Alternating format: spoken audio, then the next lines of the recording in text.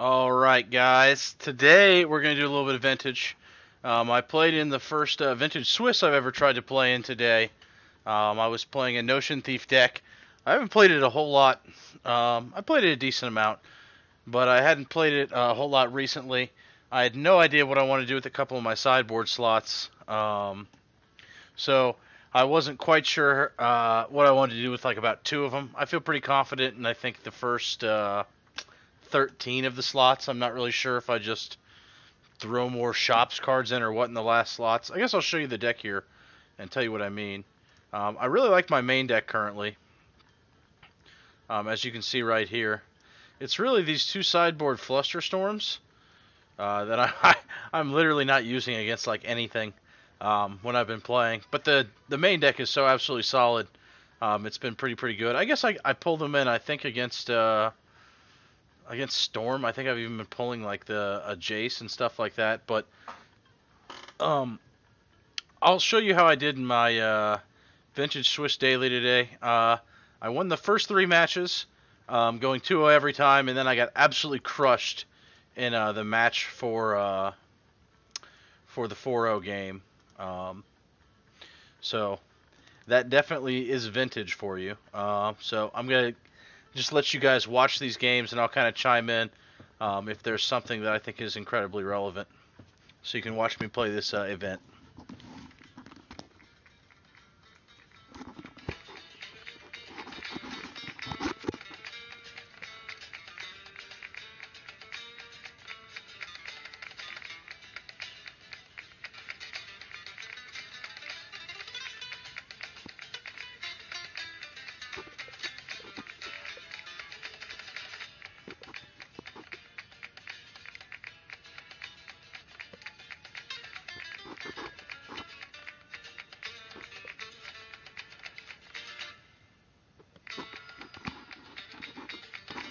Kind of nice here. The only card he can take is the Black Lotus. He's already turned off blind calling with his Revoker there.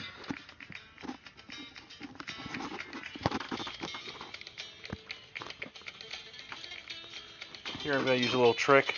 I'm going to activate top, sack in between, and fetch because I want to pick the mana drain off the top of my deck. But I want to be able to craft um, after I uh, get rid of my top and fetch away. So I put the uh, ability on the stack first.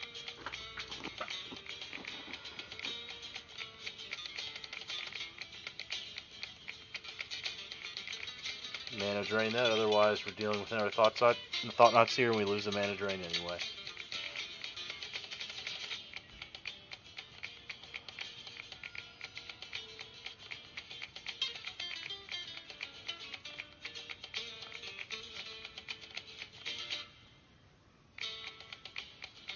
Oh no, is it going to be game bug? Hope it's not every game where Thirst for Knowledge is cast. I don't think those are even the cards I drew. I'm pretty sure I played a Jace, um, bounced his Thought-Knot Seer, and this game was actually epic. This was one of the better games. Uh, it came down to one life, and I pulled off a crazy line of play with uh, Yawgmoth's Will, um, as well as getting uh, infinite turns off of Vault Key, but I only had one life left and still had my Mana Crypt on the board, won the flip, and then was able to uh, and that was after using Time Walk twice. Um, and he did something interesting where he like animated his workshop and swung at the wrong thing. It was really interesting. Um, so those are not the cards I drew at all. That is unfortunate. So first game bugs. Hooray for MTGO.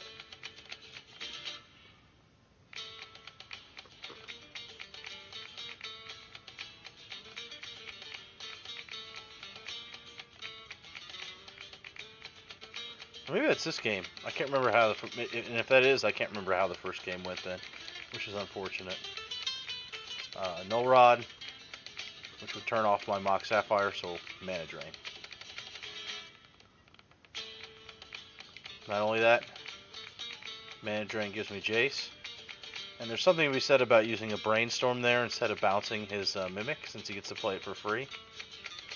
Um, but it doesn't can't swing at the Jace anymore. Unfortunately, he gets this uncounterable, hasty reality smasher, and uh, kills my Jace anyway. So we draw the Time Twister, which uh, most people don't run in this kind of build, but I love Time Twister with Notion Thief, and uh, we're going to use that line right here. Twister, Notion Thief. We're not going to cast the Underground Sea just in case we get a disgusting Tolarian Academy. Going to bounce this Reality Smasher, even though we can't counter stuffs. Yeah, now here's the where it's. I think this might be the game that has the crazy finisher. I think in the first game it might have just been a simple Blightsteel Colossus plus a Time Walk or something like that. I think this is the one where I uh, get real low. So I go ahead and get Time Walk here because if he gets another turn, I'm just boned. We'll Dack Fayden, get rid of this uh, cards that are control cards because we need to combo off to win. So this is where I feel most comfortable when I'm comboing. We draw into the Blightsteel, which is an excellent. Blow the dig through time. Find a Demonic Tutor and a Treasure Cruise. The only thing we're going to leave in the graveyard off this Treasure Cruise is going to be the Time Walk. We find the Time Vault. We can play it. We Vault Key. Now we just have to not lose to Mana Crypt's Flip. And this game is bugged too. Interesting. I won that flip, and then I was able to uh, use the Yawgmoth's Will to Ponder and the Jace the Mind Sculptor. Well, pretty much you Jace the uh, Blightsteel back down, and then you Yawgmoth's Will the Demonic Tutor uh, to go get Tinker and then get rid of the Mana Crypt with the Tinker and put the Blightsteel into play. But yet again, that game bugged because um, I won both those games. Um, kind of interesting there. Yet again, MTGO's replays are kind of horrible. Round two was against a Gush deck, and I get a turn one Time Walk, which will allow me to pass and do turn one Notion Thief against him. And as fate would have it, he sets up for a turn one library play. Only maybe 40% chance he has force. If he uh, doesn't have force, he's totally boned. So I get to draw the extra card there, no force.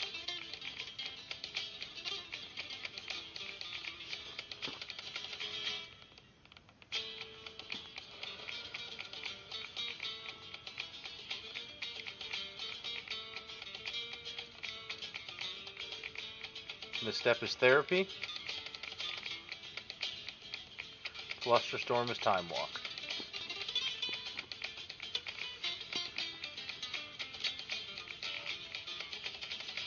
Part of the reason we misstepped uh, the therapy was just because I didn't want him to see my hand. I didn't want to give him any information.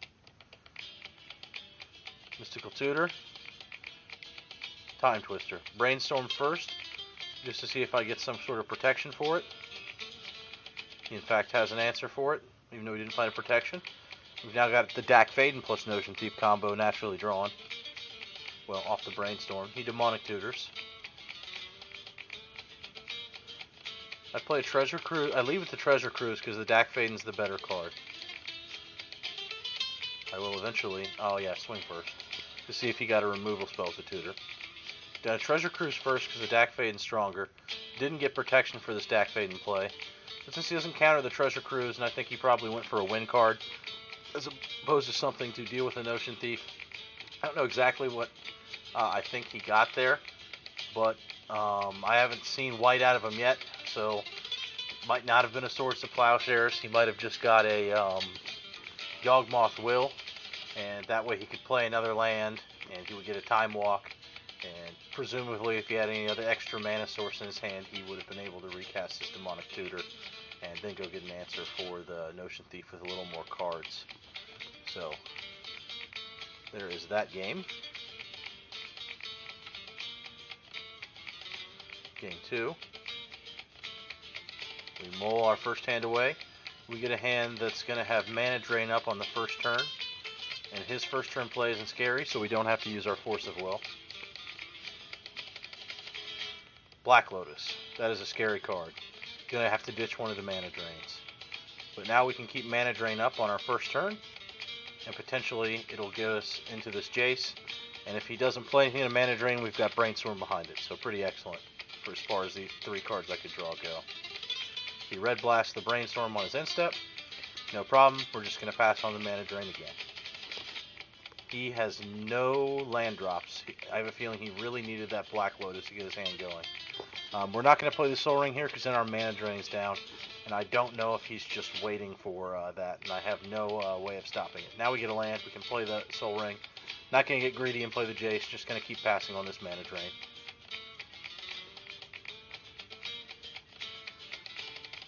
Get a Time Vault.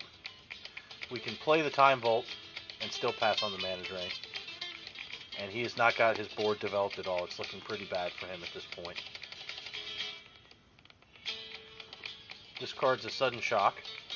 Something that'd be very good at killing my Notion Thief after game one. Might have probably brought that in from his sideboard, I would guess. Goes for Recall. I am not going to allow that to resolve. Go for a Mana Drain. He has no follow-up, so I know he doesn't have a Force of Will, or he definitely would have uh, tried to reach for lands there. So I'm going to be able to dig through time, for sure because we fetched. Now I get to use the uh, extra one mana from the mana drain to resolve Jace. He goes for Force of Will. But now he's only on three cards. He has no development. Um, he's going to need some really good cards to pull out of this. He doesn't have the mana to cast Yawgmoth's Will. His Black Lotus is already down. Um, and we're just going to look to the top of our deck for victory. Find a Thirst for Knowledge. Hopefully it doesn't bug again. Doesn't. Try to play Ponder.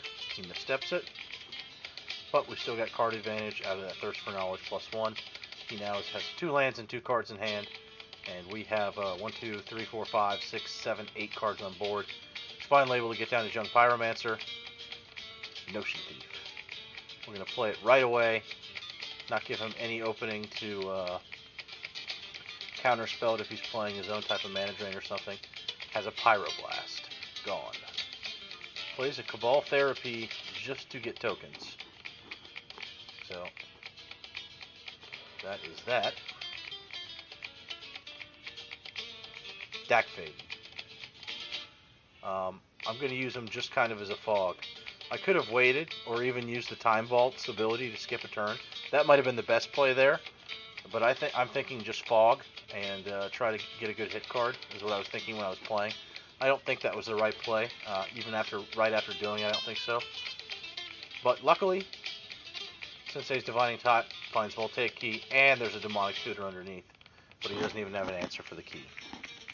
So that is that game. Game three, or match three, however, rather. Ugh. No outs. So we keep a hand here. It's got Force. It's got a turn one Demonic Tutor. It's got a pitch card and Mystical Tutor so I can immediately go get my Vault Key combo and uh, have infinite turns on my second turn with Force Backup. And if I draw, uh, I mean, rather, if I draw a land, that is. Um, so if I draw a land, I'll be able to uh, not only have that, but also have the uh, ability of Mana Drain open. I see a Bazaar. He does not pop it. We draw Mana Crypt, so that will give us a turn 2 kill with the Vol uh, Voltaic Key. He dredges, and apparently he does not find what he needs because he scoops it up right here. Um, and we still had the force to stop uh, if he had some kind of crazy way of winning on his next turn anyway, but he does not. I do have quite a few cards for Dredge, and uh, the plan is typically mull into Leyline. Uh, you, you want to have some form of graveyard hate. It just so happens that my opening hand has two Leylines of the Void. Not only that, but it's got plenty of lands, a preordained cast on turn one, and half of my Time Vault combo. So excellent start.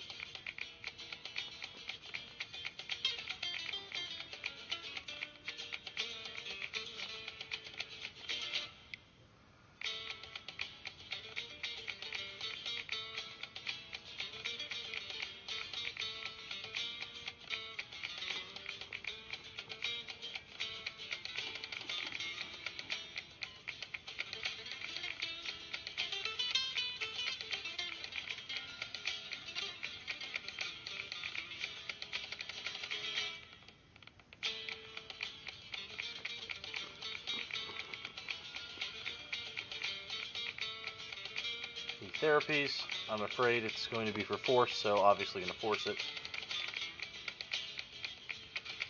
Pass on my mana drain. He has to find two ways to kill Leyline and the Void to go off, and as bizarre as killing his cards every turn. Get our Time Vault, and the Vampiric Tutor is the other half of our combo, and we've got Force backup. So he is in a world of hurt here. Play the Vamp Tutor, he's got a mental misstep. Go ahead and force it. He still has to get through two ley lines. He'll take key. No answer. Good game. And now the final match of the Swiss, where I did not do as good. I'm almost positive this guy's on some sort of blue deck just because of the average length of his games in the uh, uh, the Swiss event. He played almost longer than anyone else in every single round. So I'm thinking he's on some form of blue. So this hand, it's got. Um, I'm on the uh, play. I won the die roll. I can't get my mana ramp my first turn. I don't have a force of will. Uh, the treasure cruise is nowhere close to getting online. Um, the mystical tutor. I mean, the best I could hope for out of that was attempt to mystical tutor for an ancestral recall or something. But if he's playing a blue deck, there's a good chance he's got mental misstep. Um, this hand is just not going to do unless I get lucky and I don't get a draw going first. So there'd be nothing I could really do. Uh, this hand, I've got plenty of lands with it, but I have no artifacts to go with at Tolarian Academy. Um, Time Twister probably not that great in any kind of like blue mirror, unless I've got something good to go with it. No fast mana. I can't keep this either. So I'm going to go to 5. Yet again, no fast mana, nothing super exciting, um, no control at all in this hand, but I really don't want to go to 4. Force of Will probably should have went to the bottom. I put it on top. Um, that was probably a mistake. I thought it was a mistake right after I did it. Um, I guess it was, I, I kind of didn't know what he was going to do, and I wanted to be able to stop him from doing something degenerate. Um, but I'm not going to get to see it until uh, until next turn anyway, since I'm on the play.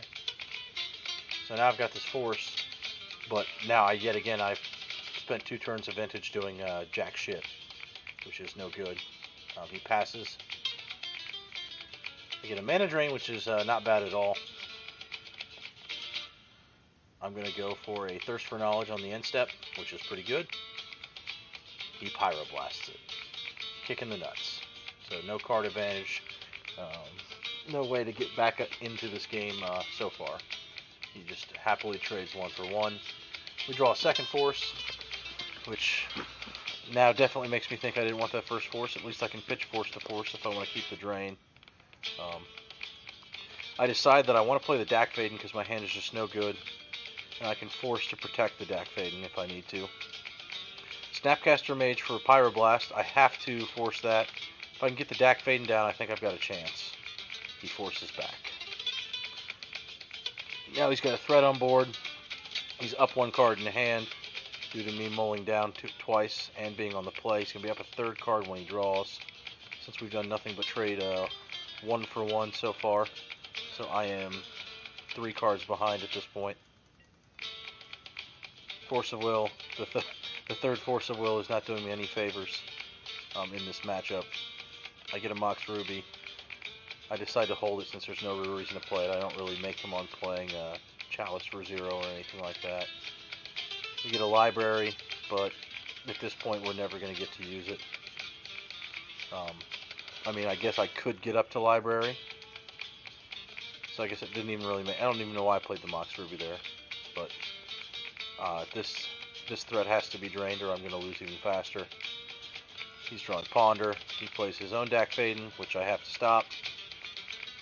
Uh, with all my mana drain mana, need my hit card now. Possibly didn't have force. If I get a good top deck, I could win. Land. Um, I'm feeling very not so good about this. I need a super big hit card. I need my Time Twister or something to get out from underneath. The Mana Crypt makes that line better. Tolarian Academy uh, Mana Crypt Time Twister, potentially hit more mocks and maybe to do something disgusting. Sol Ring. Yet again, still looking for Twister or Yawgwill or something big. At this point, he probably has the ability to counter me now, though my window is probably closed. Notion Thief will not do it. He has two threats down. Good game. And the last game, I take the play again, which I don't know how good that is in this matchup. I have library on the play. So it feels like I'm at six cards. For some reason I thought I mulled and I was on the draw, but that's not the case. Um, so what I should have done is probably just tried to ride out this library. But in my infinite wisdom and infinite uh, experience here playing Vintage, uh, not only that, but the Mystical Tutor is probably one of the cards that I should have switched out for Pyroblast.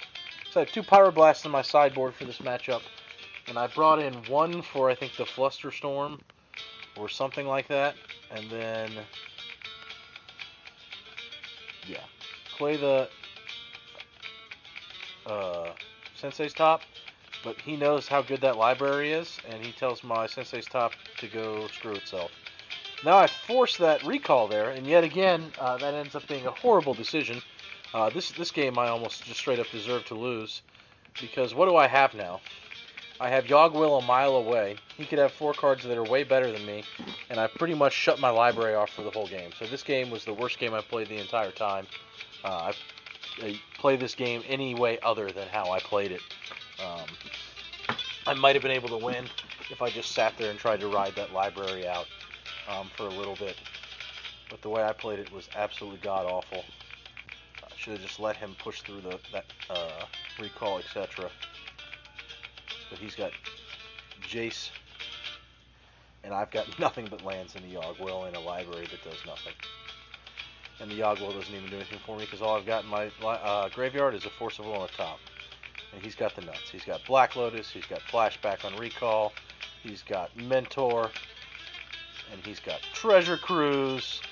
I am just beyond fucked.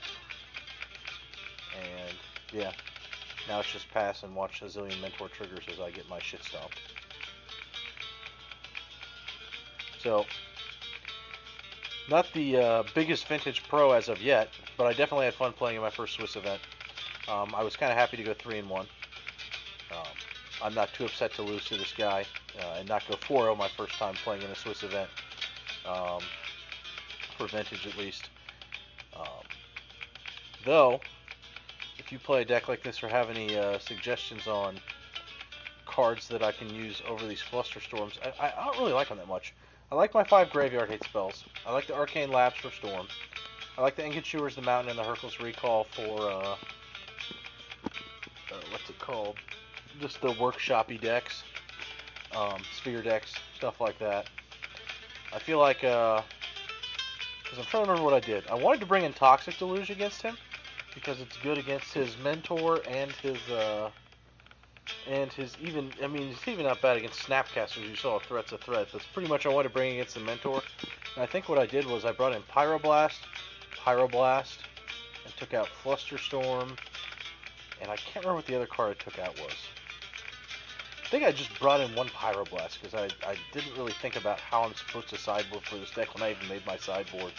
I haven't played against uh, that many Mentor decks for whatever reason the past couple days. But I definitely need this other Pyroblast in here somewhere. And I think I even want this Toxic Deluge here, but I'm not sure what I should have cut. Um, it's possible it could even be the Forces, but it's possible I could be horribly wrong about that. So if you play lots of Vintage, I'd love to hear your opinion.